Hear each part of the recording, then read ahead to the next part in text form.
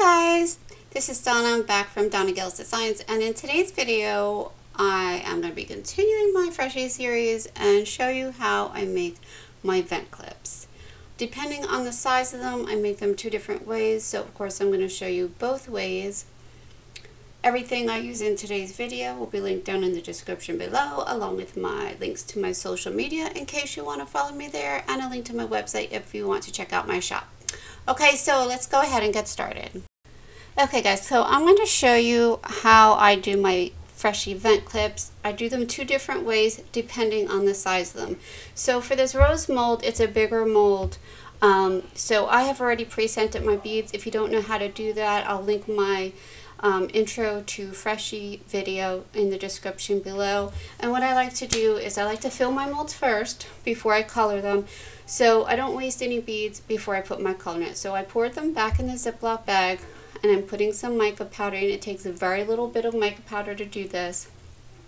Once I get it all mixed up really good, what I'll do is I will pour that back in with the exception for the, this one this one I decided to put a tiny bit of glitter in it as well to just to give it a little bit of sparkle um, so once that's all mixed good we're going to pour it back into our molds and then they'll be ready to go in the oven. I baked these separately, reason being because of the size of them. So obviously it will not take as long for these small hearts to bake like like the big rose here. So for the rose one, um, and my main um, Freshie temperature I usually do is 325.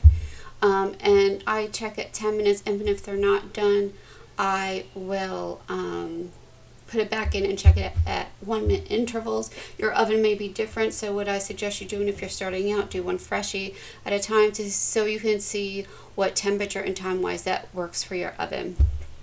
Okay, for the little ones, I did at 300, and I think they took between like five and eight minutes because I had to keep checking it. I like to put my finger when they come out. If those beads come up with you, when you pull your finger up, they are not ready. They need to go back in the oven. If they don't, then they're ready. So for the big rose here, I just put vent clips. I put them in when they're hot, when they come out of the oven, and it'll melt around that vent clip. And they're super strong when you do that. With all of my freshies, I do take a silicone brush and go around the sides. And this way, there's less pokey boats, uh, pokey bits. Um, to trim when they are cooled off. I should have, I usually take a wet paper towel when mine come out to push them down so they're even, but I forgot to do that, so I did do that afterwards. Um, I forgot to videotape the rose to show, I mean the small hearts to show you how I put my hooks on. So what I do is I take that eye hook, I hold it with a pair of pliers, I heat it up with my candle lighter and it goes right in smooth as butter guys, I promise.